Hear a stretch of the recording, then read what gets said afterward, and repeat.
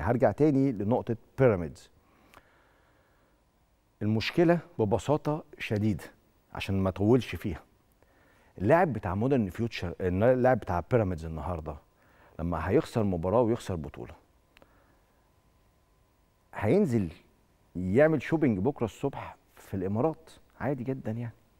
لو مش خايف مش قلقان حد يقابله فيقول له انت عملت إيه امبارح؟ ده واحد. اتنين مفيش حد بيمارس عليه ضغوطات طول الوقت. يعني مفي مين اللي بيمارس ضغوطات عليك؟ لازم تبقى الجمهور مفيش تلاتة تلاتة. وده أتمنى إنه بيراميدز يعدله في المستقبل القريب. مش لازم الفرقة كلها تبقى نجوم عشان بعض النجوم في بيراميدز بيحسوا إن هم أكبر من النادي عشان يعني إيه؟ من الآخر كده أنا كلاعب هقول لك إيه؟ يا سيدي انبسط إن أنا بلعب معاك ده أنا اللي لعبت في الأهلي والزمالك واحترفت وعملت وعملت وعملت وعملت. فاحساس اللاعب من جوه إن هو أكبر من النادي هيعمل لك خلل. مش بقول إن كل اللعيبة بتفكر كده بس أكيد في بعض اللعيبة في بيراميدز بتفكر كده.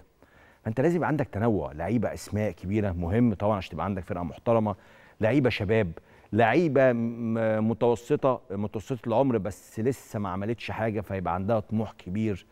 لكن أنت جايب كل اللعيبة كبار جدا. في المواقف اللي زي كده مش هتلاقي اللي بياكل النجيلة حرفيا مش هتلاقيه.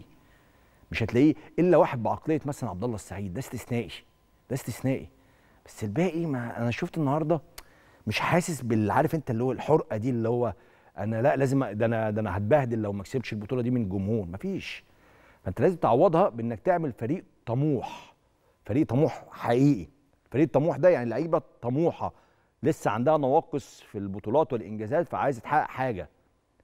أنا بقول كده بصراحة للصالح والله مش جاي النهارده الوم على بيراميدز أو انتقده أو اهاجمه لا تاني وألف خدوا بالكم أنا مرة أخرى الأندية الخاصة في مصر دي أسرة المسابقة والكرة المصرية وفادت الكرة المصرية، آه نحب الأندية كلها تبقى جماهيرية، بس برضه الأندية دي اللي عملت تنافسية محترمة، فما ينفعش نتعامل معاها طول الوقت اللي هو إيه؟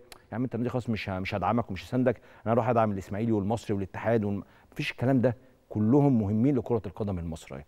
بس بيراميدز في رأيي بيشتغلوا منذ سنوات بطريقة مش صحيحة بنسبة 100% مش هقول خاطئة ولكن مش صحيحة بنسبة 100% عشان لهم إيجابيات أخرى. لازم يعدلوا من هذا الأمر لو عايزين فعلا ياخدوا بطولة. بيراميدز ببساطة شديدة. خسر النهارده السوبر على وشك الخروج من دوري أبطال أفريقيا. قبلها خسر نصف نهائي كأس مصر من, من الزمالك وقبلها السوبر والدوري والكاس من الاهلي يعني تفاصيل كثيرة. بيراميدز كل ما يبقى على وشك إنه يكسب والكونفدراليه كل ما يبقى على وشك يكسب بطولة ما بيعرفش. عشان هي الحتة الأخيرة دي. أنت عندك فريق قوي جدا طبعا متكون. بعناصر قوية جدا طبعا. بس مش لازم تكون تبقى كل عناصر كلاس A. يبقى عندك A وB وC على فكرة أي فريق في العالم بيتكون كده. مش أنا معايا آه، فلوس كويسة فاقدر أشتري اللي أنا عايزه فأجيب كل اللعيبة الحلوة. ده مش صح في تكوين فريق يعني.